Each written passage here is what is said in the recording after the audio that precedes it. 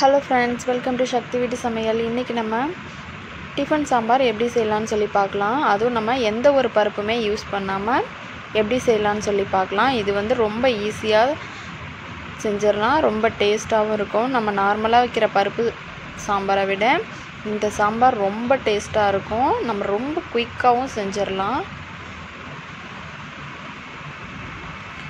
இந்த சாம்பார் செஞ்சால் எத்தனை இட்லி வேணாலும் சாப்பிட்டுட்டே இருக்கலாம். சரி வாங்க எப்படி செய்யலான்னு சொல்லி பார்க்கலாம்.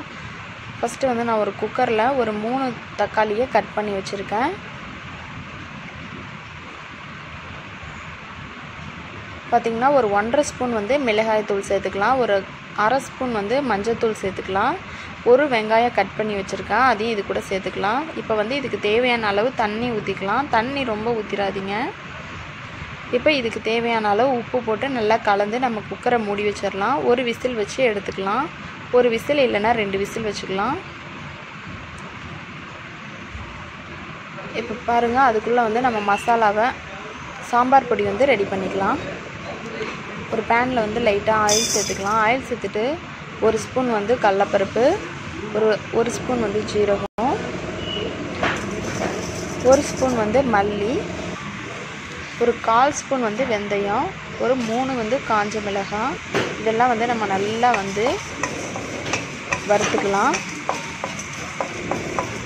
பாருங்கள் ம நல்லா எல்லாமே வெடிக்கும். நல்லா கலர்லாம் சேஞ்ச் ஆகிடுச்சு நல்ல ஒரு வாசம் வரும்.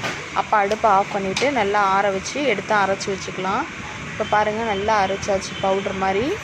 இப்போ வந்து குக்கரை ஓப்பன் பண்ணி பார்க்கலாம்.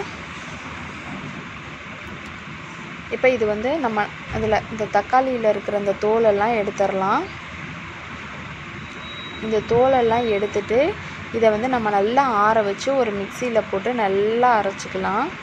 தக்காளியெல்லாம் நல்லா வந்து அரைச்சா தான் நல்லா நமக்கு வந்து அந்த திக்காக கிடைக்கும். இப்போ ஒரு கடாயில் ரெண்டு ஸ்பூன் எண்ணெய் சேர்த்துக்கலாம். எண்ணெய் சூடானதுக்கப்புறமா அதில் ஒரு ஸ்பூன் கடுகு ஒரு கால் ஸ்பூன் ஜீரகமும் கொஞ்சமாக வெந்தயமும் சேர்த்துக்கலாம். இது நல்லா பொரிஞ்ச உடனே ஒரு ரெண்டு பச்சை மிளகா ஒரு பத்து சின்ன வெங்காயம் போட்டு நம்ம நல்லா வந்து வதக்கிக்கலாம். வெங்காயம் வந்து நல்லா வதங்கணும். இப்போ வந்து கொஞ்சமாக கருவேப்பிலை சேர்த்துக்கலாம். நல்லா வதக்கிட்டு நம்ம அரைச்சி வச்சுருக்கோம் இல்லையா அந்த தக்காளி இது அதை வந்து இது கூட சேர்த்துக்கலாம். லைட்டாக வந்து மிக்ஸி ஜாரை கழுவி நம்ம தண்ணி இதில் சேர்த்துக்கலாம். இப்போ இது நல்லா ஒரு கொதி வந்ததுக்கப்புறமா நம்ம நம்ம வந்து சாம்பார் பொடி ரெடி பண்ணி வச்சுருக்கோம்ல அந்த சாம்பார் பொடியில் ஒரு ஒன்றரை ஸ்பூன் இதில் சேர்த்துக்கலாம். இப்போ பாருங்கள் நல்லா கொதிக்குது. இப்போ ஒரு ஒன்றரை ஸ்பூன் அளவுக்கு நம்ம சாம்பார் பொடி சேர்த்துக்கலாம். சாம்பார் பொடி சேர்த்து நல்லா கொதிக்க வைங்க. இப்போ இது நல்லா கொதிக்கட்டும்.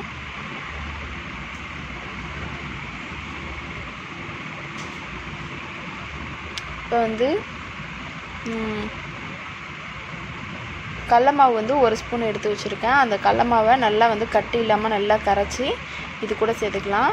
அப்போவே நமக்கு எந்த அளவுக்கு தண்ணி தேவைன்னா கொஞ்சமாக தண்ணியும் கூட ஆட் பண்ணிக்கலாம். ஏன்னா கடல மாவு சேர்த்த உடனே நமக்கு நல்லா திக்னஸ் கிடச்சிரும்.